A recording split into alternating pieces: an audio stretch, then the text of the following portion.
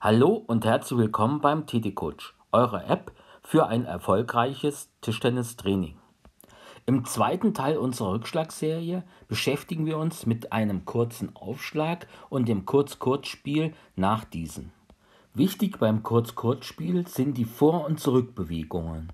Der Aufschläger beginnt mit einem kurzen Aufschlag, Will ich nun als Rückschläger einen kurzen Return spielen, so muss ich den Ball auf dem höchsten Punkt annehmen. Ich gehe mit dem rechten Bein unter den Tisch, mein Schlagarm wird länger und ich kann nun kurz ablegen. Wichtig ist, dass ich den Ball auf dem höchsten Punkt nehme, wie hier nochmal eingezeichnet. Ich lege nun den Ball kurz in Vorhand ab und locke den Aufschläger auch über den Tisch. Der muss auch einen Ausfallschritt nach vorne machen und hat nun in der tiefen Rückhand einen Schwachpunkt. Den könnte ich zum Beispiel ausnutzen. Schauen wir uns nun ein Beispiel von den Profis an. Wladimir macht einen kurzen Unterschnittaufschlag in Vorhand. Harimoto nimmt unorthodox mit Rückhand an, aber auch hier sieht man, wie er mit dem rechten Bein unter den Tisch kommt.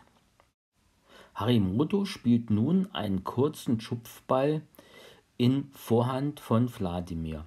Dieser retourniert wiederum mit kurzen Rückschlag und Harimoto muss unter den Tisch wiederum mit dem rechten Bein kommen.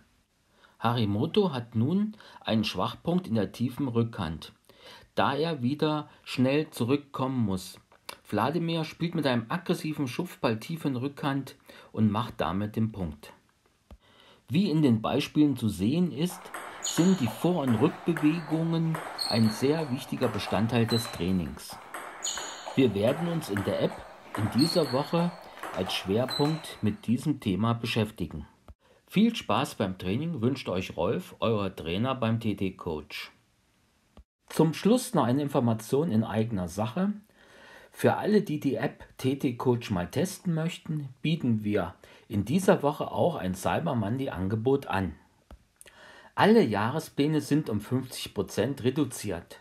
Zum Beispiel das TT-Spieler-Modul kostet dann nur 14,99 Euro für 52 Trainingswochen.